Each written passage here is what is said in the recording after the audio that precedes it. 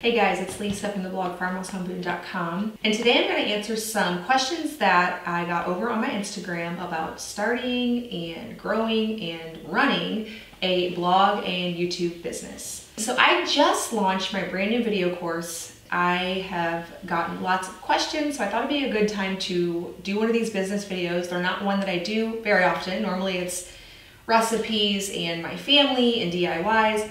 But a big part of my life is, of course, my business because that is how we support our family full time. I decided to do the second course to do more in depth on YouTube and video content creation because that was something I saw a need for with my over 750 blog students. I will leave a link in the description below for my courses. My new course is all about video and YouTube specifically, and my first course is about blogging. They go together great if you want to start a robust online business. I also have a bundle where you can get them all together, so I'll leave links for that in the description below. I do have a coupon code for my YouTube followers. So you can use code subscriber. That will be all in the description box below. All right, so let's dive into these questions. So I did get some good ones. I put this out on my Instagram in one of those little question boxes. I got this one several times. How many hours a week do you work and how many hours when you're on vacation? So this depends if I am working on something like my book or launching a new course, it can be a lot more. But I would say in a typical week, somewhere around 20 to 25 hours is what I work on my business. Now, occasionally Luke and I have to sit down on one of our date nights, which we go on a date night every week, and go back over kind of our schedule because it constantly changes. Like we just had a new baby. And so what was working for us before is not exactly working now. And we had to do that again recently whenever Micah dropped his morning nap. We had to reevaluate, okay, when are work hours going to be? When are we doing homeschooling? When are we doing lunch? And we like to occasionally do that. I am not as much of a schedule person, but Luke is. So what we did when we first set that up was we did it to where I did two hours of work in the morning and did like lunchtime and all of that and then two hours afternoon nap. And then there was a long stretch where we could just do whatever as a family. So like 2 to 7 p.m.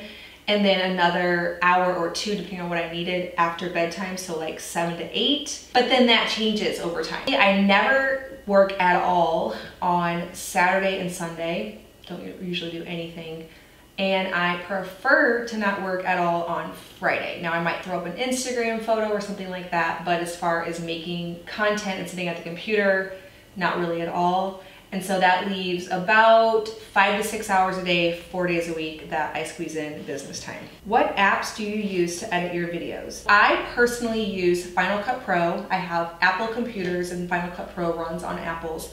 Now in my course, I do a hands-on exercise with editing in iMovie because that's free. Final Cut Pro costs, I believe, $300, and so that obviously is a little bit of an investment and not necessary. I didn't actually use Final Cut Pro for my business until at least a year into creating videos. Totally not 100% necessary, but once you start making money with your business, you can invest it back in. I also show in the course how to edit with Premiere Pro now that's something you have to pay for monthly, so that's not something I personally use, but some people do.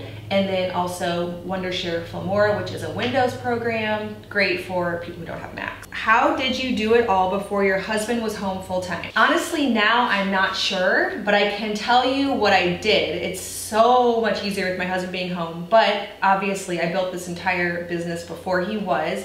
So it looked similar to the work hours I just told you, but a little bit earlier and a little bit later at night. So early morning, I would do an hour or two, depending on if I had a new baby and how early I needed to get up. I always took the afternoon nap slash rest time. I say that in quotes because my kids are beyond the age of napping. Really only one kid naps and that's Micah.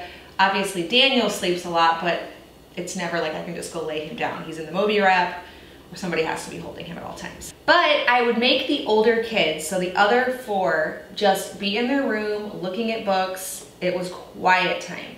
And so that time I took very seriously. Now I will say that whenever I was home without Luke, because of how little time I was able to get to myself to work, I worked very efficiently and effectively during those hours. I knew exactly what I needed to do and I knocked out my tasks because I had so little time. You can really squeeze more in the less time you have. It's true. They say busy people get more done. Totally true. Now my sister, she has a YouTube channel on here called Our Oily House. She started her blog and YouTube channel about a year and a half ago now. It was right when her fourth child was born, which is crazy, right? Like that's the same thing I did. I started my business when my fourth child was born. Not sure why that's a good idea, a time to start a business, like a month after your baby's born, but that's what we both did. She is still in the her husband isn't home yet phase. They definitely are reaching toward that goal. But she does the same schedule that I was telling you about, a little bit in the early morning, that afternoon nap time is precious, and then late at night. Now, that's a lot and it's a sacrifice for sure, but it all does become worth it. And in the beginning, to get the ball rolling and to get the momentum going, there isn't time to not show up. I always tell people in my courses and my students that you have to post two times per week, no matter what.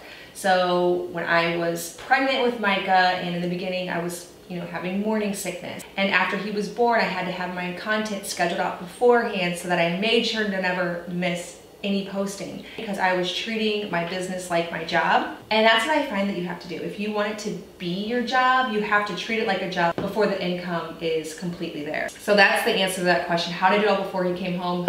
Oh my gosh, I don't even know. It was hard. It was late nights, early mornings, and all of that, but it's so much more relaxed now. What has been the hardest part?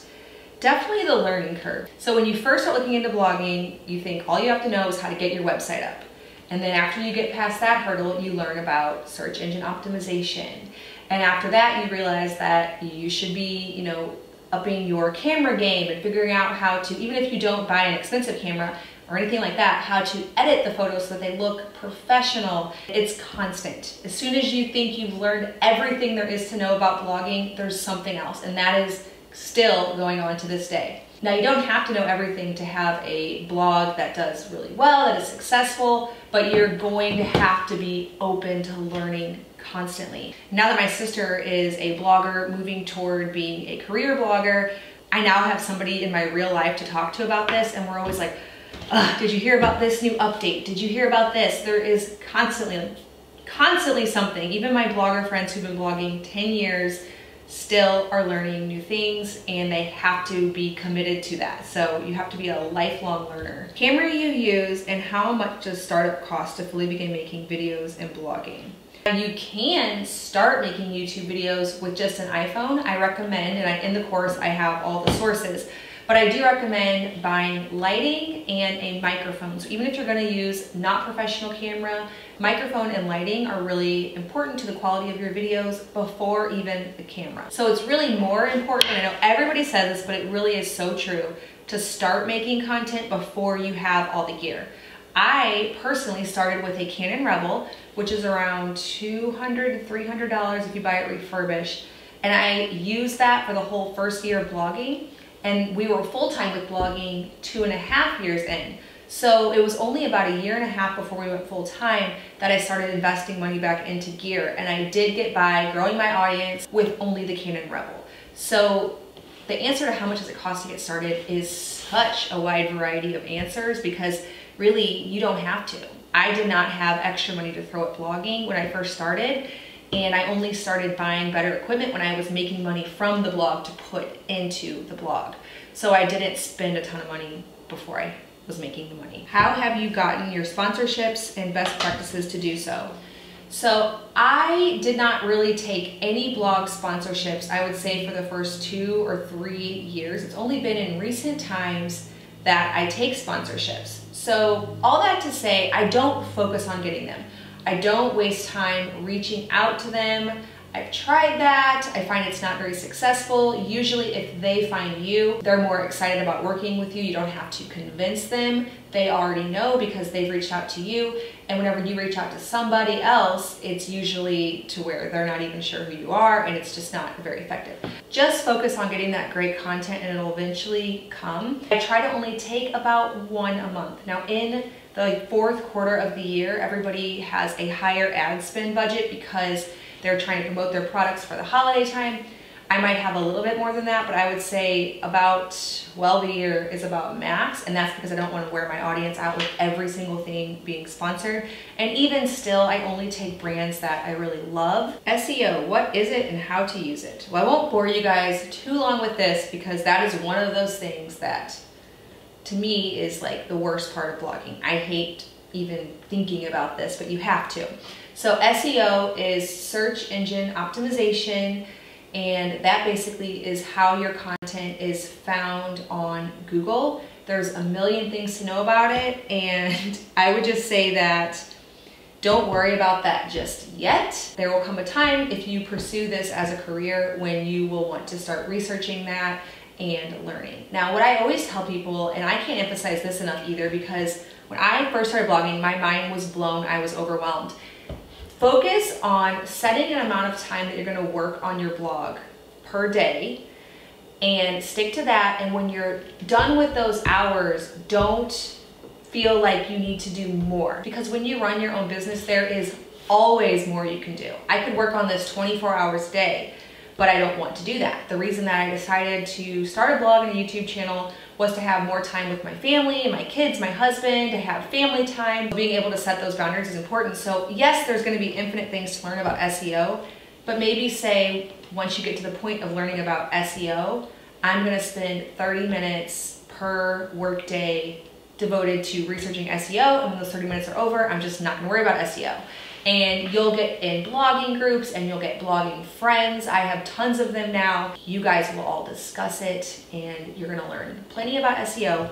Just don't get overwhelmed with all the things. How long does it take for a blogger to start making money? Just blogging, not YouTube. This is something that I like to talk about a lot, especially in my private blog course Facebook group, because I feel like it happens quickly that people get discouraged and want to give up. A lot of times people will blog hard for two months and then not see any results and give up.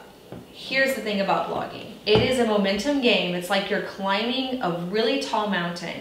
And once you get to the top, you might just like blaze down the other side of it. But I see that people constantly quit like a quarter of the way up, a halfway up, maybe even three quarters of the way up. I'd say most quit somewhere around like an eighth of the way up. So to be completely honest, I didn't start making any money until a year into my blog. From my experience, a year of pushing hard, you're gonna start seeing enough money to get you excited to keep going. If your husband wasn't home to help, how would you manage kids making food, cleaning, plus the blog?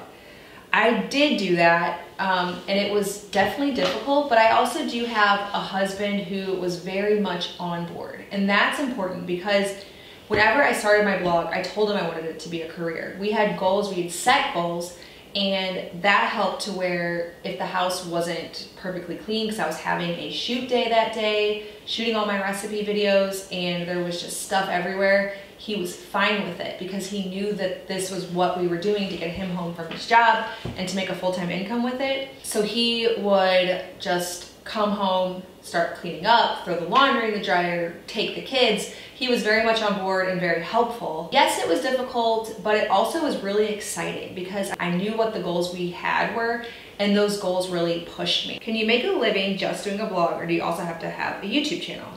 You definitely can. And I know this because now that this is my career, I go to blog conferences, I have blogging friends. I know so many people who are making a full-time income with just blogging. In fact, most of my blogging friends are making an income with just blogging. I personally feel like YouTube and video accelerates your growth because it's another place where you can build an audience. So this is a whole platform now that I didn't have before that I can talk to you, invite you to my blog, invite you to join my email list, and it's just like another Instagram, another Facebook. So I think it makes complete sense because it's another place where people, a lot of times, you guys tell me that you don't even have Instagram or Facebook. And so I could never have even reached you if you don't use Pinterest, Facebook, you know, unless you found me randomly on Google, I couldn't have reached you. And so I think it makes sense, but I have met so many people through social media, through conferences, friends of friends who are making a full-time living with their blog who don't do YouTube. Do you schedule content days, blogging days, editing days, etc.? Yes, I used to not have such a great schedule, but necessity has definitely made me get there. So I'm more of a go with the flow type of person. That's just my personality, but I've definitely gotten there more. So usually on Monday evenings, I take my kids into town for gymnastics and I'll go buy all the stuff I need for the week. And then I have a shoot day, usually on Tuesday. Sometimes it spills over into Wednesday if I'm doing videos that are a little bit complicated, like a sewing tutorial or something that takes more than one day to achieve.